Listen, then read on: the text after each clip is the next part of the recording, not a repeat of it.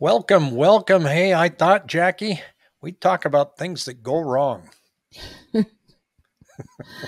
oh my God, I got a list for you. Yeah, so do I. Good. And what spurred this was I don't know if you saw it this week, but um, lawyers title and I think it's fidelity. They're all under the same umbrella. There's about four or five of them, right? And Tuesday, nationwide, their system went down. They couldn't close. They're telling people we may be able to close on Monday. Now, this is the Tuesday before Thanksgiving. You know, people had moving vans loaded up, ready to go on Tuesday and Wednesday. Oh, to get absolutely. in the new house before Thanksgiving, and now, I mean, uh, imagine the people that had simultaneous closes, whether at the same title company or not the same title company. And if they closed and had to be out of their house, and then suddenly they can't close on their house, were they in hotels? Is there is there any kind of liability that's going to fall on the title company? I mean, it, I'm sure it cost a lot of people some decent amount of money. Yeah, and those are always tricky moves. I know I had one once that you know it the first house they sold closed in the morning and then immediately wired the money over to close that afternoon and you know we had a couple of delays and and they it, it can just get ugly i've had mm-hmm. um, there's always something that goes wrong. Not every time but no. you get surprised by some of the things that that pop up. I know you have a couple of examples. Oh my gosh. So absolutely. So i've i've had situations where uh, well here's the worst one. Um, and this is many, many years ago uh, when we would, you know, ever since COVID, everybody does the mobile, notar- mobile notary. But it used to be common practice and always practice that you would meet your client at the title company and close at the title company and sign the docs and be there with your client. Years ago, I'm talking like 18, 20 years ago, um, both myself and my mother, we had some clients that we were meeting at the title company for their closing. We got there, we're sitting there, we're talking to the escrow officer, we're waiting, we're waiting, we're waiting, and we represented the sellers. And the sellers didn't show up, and then nobody could reach the sellers. We were calling them. Um, I don't even think they had cell phones. Um, we were calling their home phone, I believe and lo and behold, it actually took two days. They, they just went MIA. We went by the house. They had moved out of the house already, couldn't locate them. Come to find out, and this is horrific, they had been in a car accident and they both passed away. Oh, man. Mm-hmm. It, it, the deal's dead then. I mean, nobody can sign anything. Actually, actually it took about four months and they had to go through probate but the children i think it was the the daughter and her husband uh she was the executor of the will and eventually those buyers they rented a uh, short-term rental and they actually bought the house still bought the house but it took about four months because they had to go through probate but um you know it it was it was sad. it was, I, I, mean, for two days, we didn't even know what happened to the sellers. Yeah, they were just MIA. I had a buyer once that was just mad. She she didn't do any of the repairs that she agreed to do. I found out the day before she was divorced. Her husband finally drove up there and fixed everything, and she was just mad that was going to have that that was going to have to be done, even though we agreed on everything. And she just decided on the day of closing, she had an appointment for 10 o'clock, and she said, I'm not going. I have a doctor's appointment. And I had this doctor's appointment for months. And I said, Well, and I'd had it with her at this point. And I said, You know, it's up to you. I said, But the buyers are going to walk away if you're not there in an hour. So she went and signed. And yeah. the title company told me she was just nasty to everybody. It was right around on the Cinco de Mayo, I remember, because I oh, Lord. delivered a whole bunch of tequila to all the ladies that were in the title office as an apology. But but there's always something that can come up. I know I like to schedule closings on a Thursday. Absolutely. Wednesday on Friday. Wednesdays or Thursdays are great because yeah. if you have a delay, at least you're not delayed until Monday. Right. Right. So if something goes wrong on Wednesday, you know, you can close on Thursday. You know, you might have to stay in a motel. You know, tell the moving truck, hey, you know, stick around. Uh, but boy, if, if, there's a problem on Friday, you're toast until Monday. So I really oh, recommend yeah. for viewers out there, you know, don't close on Fridays. That that's rough. Never. I've had some real doozies, Rick. Um, back when we had the GFC, the Great Financial Crisis, and um, people were really mad giving up homes. I had many situations to where I represented the buyer. We would go in and the appliances would be gone, or there would be holes in the wall.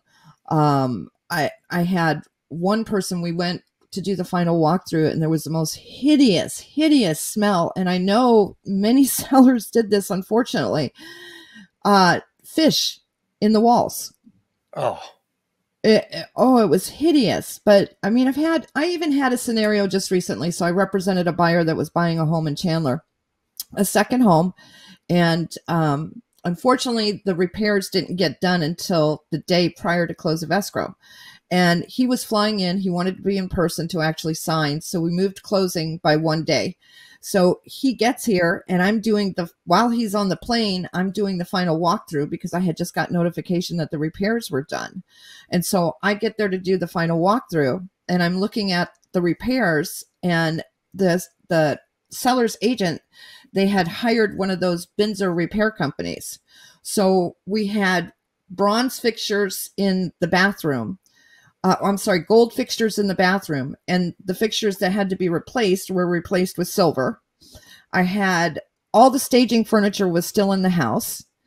Um, there was a hole above the microwave that they were supposed to seal because they had this was a complete remodel, right? Really nice remodel job they did.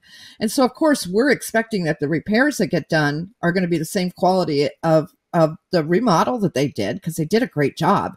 So I get there and there was supposed to be a panel put above the microwave where the vent used to be because insulation was coming through the top. So instead of putting a panel, they had duct taped it.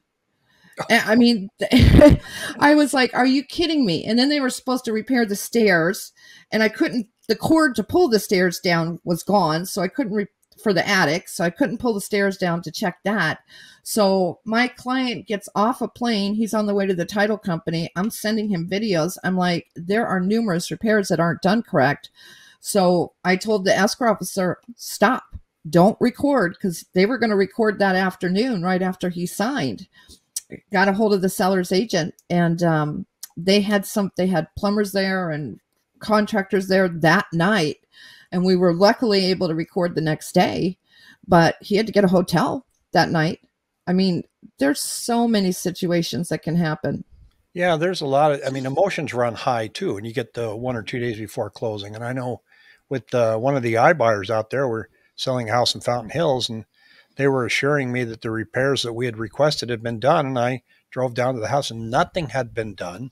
and then they finally said, uh, "Yeah, we sent a vendor out vendor out there, and he took care of it." And I called him. I said, "You better not trust this vendor because they they didn't even wire it right correctly." And finally, I just said, "Give me a credit at close of escrow so my guy can hire the right people to get this done." But those things come up like right at the last minute, and then oh, yeah. I had one. So I, I guess what we're saying in this video is be prepared because you never know. And I had one where my seller had moved out, and they had um, they hadn't moved out yet. They leased back for a few weeks from this buyer. They were the nicest couple and everything. They wrote one of those letters. Our kids want to grow up in the neighborhood and, and everything. And they, and so when they went to move in, they never, the agent never did a pre-closing walkthrough. So there was no sign off. Big mistake. Big mistake. So when they went to move in, they found a hole in a door. Now that hole had been there for hmm I guess quite a few years, a little tiny hole. The guy wanted two hundred dollars for the door, or he wasn't going to close. And I'm thinking, we just put in a brand new air conditioning for you. You know, we did all these other things, the, and you guys didn't find that hole when you did the. Did you do a pre-closing walkthrough? She goes, "Well, no." I said, "Well, you know this." My Did client they ask for it during been- the inspection period? No, no Oh, didn't geez. ask for it. And so anyway, the seller was furious. The, the, the buyer was furious. And he said, I want 200 bucks from the seller for the door. And I said, well, you can't demand that where the money comes from. If you're, if you're looking for 200 bucks for repairs, you, you don't get to say nope, Right. I want it to come from him. So finally, I'm getting a hold of the agent, and I said, you know, let's just make this go away. I'll kick in a hundred, you kick in a hundred. She goes, well, I don't know. He wants two hundred dollars from the seller, and she was Oh, a new Lord. agent. I said, we have to solve this in 15 minutes, or I'm calling your broker. Oh my gosh. so crazy. And It's- you know, it, it's hard too when you've got an, an inexperienced agent on the other side. So uh, we had, I'm going to give you two more really good stories. So um, I'm going to save the best for the last. Wait till you hear this one. So uh, I had one about a year and a half ago. Ruby and I actually represented the buyer and the seller. Um, we originally had the listing. And so um, when we got a, a interested party, the buyer, Ruby and I will separate so that we can do dual agency and make it very fair.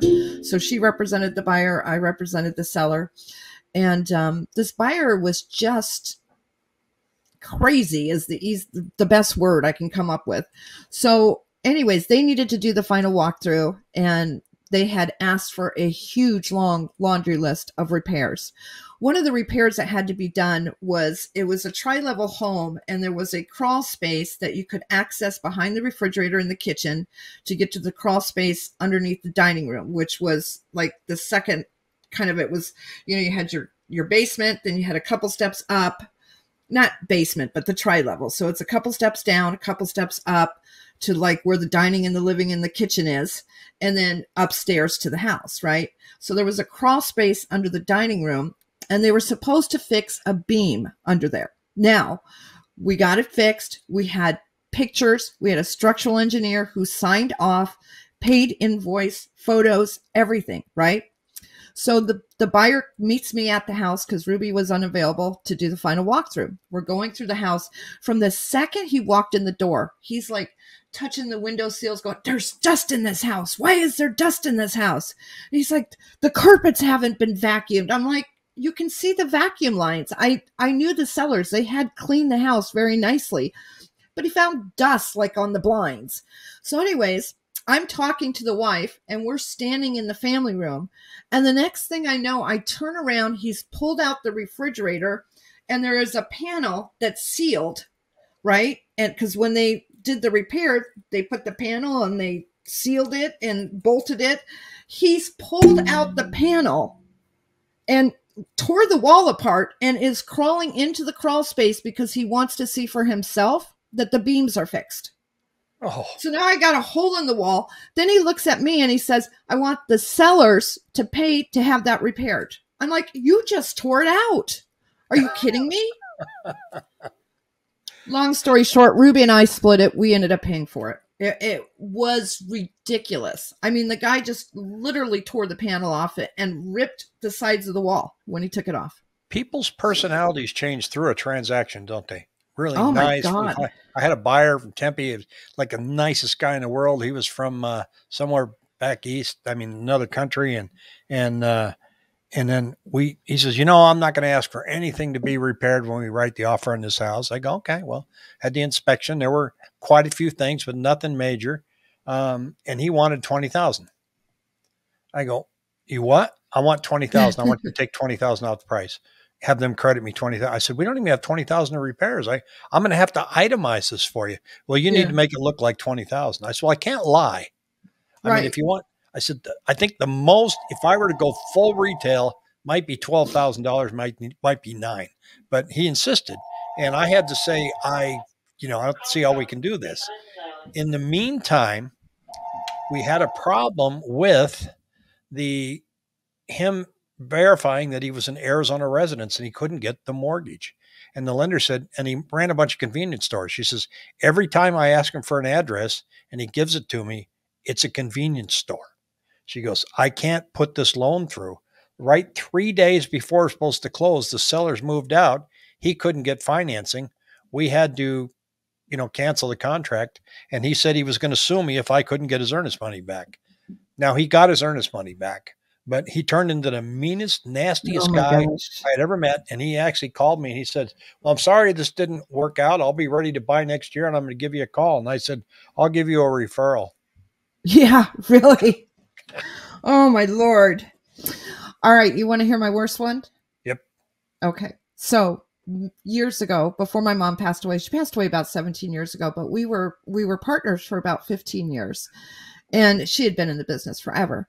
So um, you know, my specialty is horse property. So there was a large ranch in Cave Creek on 10 acres. Um, at the time, now this this quite a while ago, uh, I believe it was listed at three and a half million. Big, big, beautiful ranch, right? So I had had, um, I used to do a lot of the horse shows, and I got a referral by one of the top Arab trainers. I I won't say his real name. Um, we'll say Jack. And uh, anyways, he had a, a gentleman that he was going to marry that was coming from Texas and very well off. And I'll say Tom is his name. Anyways, so Tom and Jack, I show properties to, right? And we find this big, beautiful ranch, put it under contract for three and a half million dollars. And we go through all the inspections, and there were some structural issues with this house. Uh, the what's the rich guy? Is that Jack? Tom and Jack? Yeah. Okay. Anyways, so so the guy with all the money, right? He dresses galore. He's got the best boots, the best hats. He drives the biggest truck. He buys the husband a brand new truck while we're in escrow for cash. This is a cash deal, right?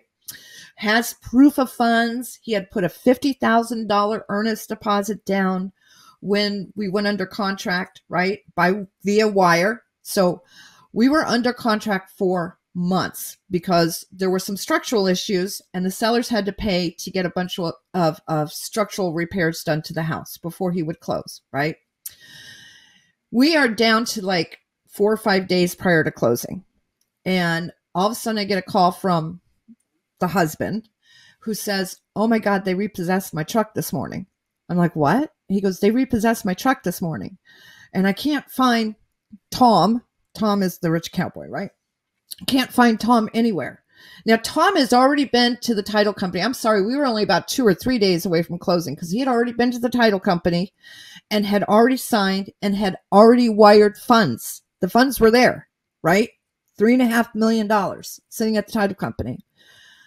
And the, husband's telling me how they repossessed his truck. He can't find his husband. He doesn't know what's going on. I get a call from the title company that says the funds have been they've been there for a couple days, but the the wire was fraudulent. Oh. It took months for the title company to find out that that $50,000 earnest deposit, it sat there for months and nobody knew it was fraudulent. Anyways, long story short, the guy had actually, it was a vacant house. The guy had been staying at the house when he was in fights with the husband.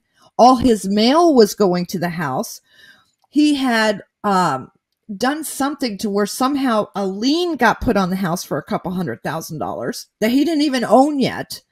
It was un- the guy ended up in jail.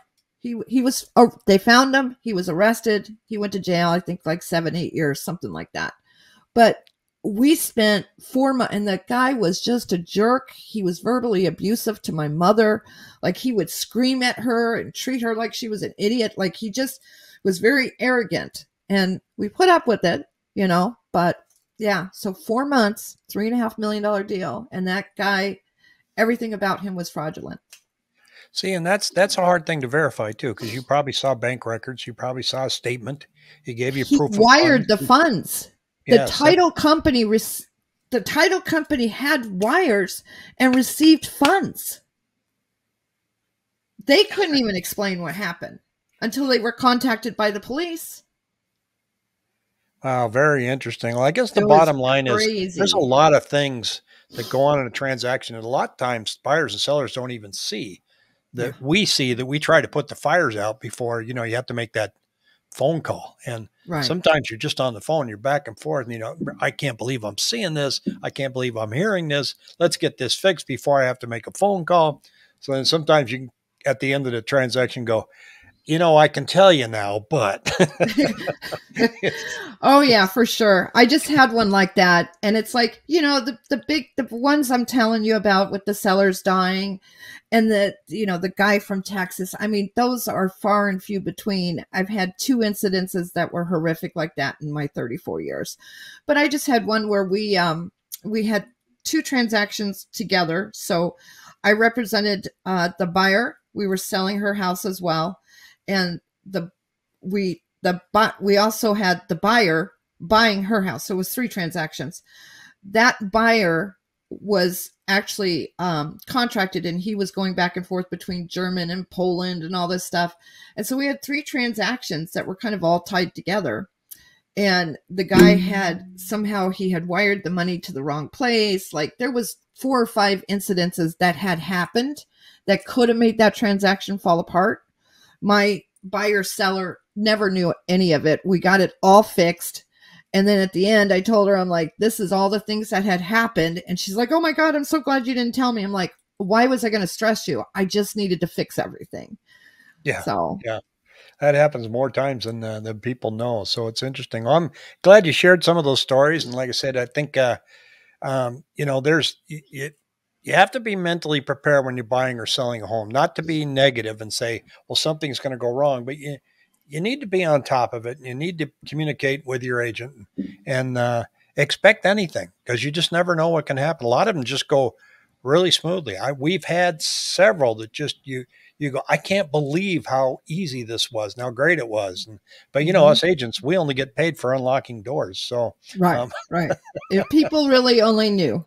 yeah, that's right. Well, Jackie, good to talk to you again. Have a great day, and thanks for coming on. Thanks, Rick.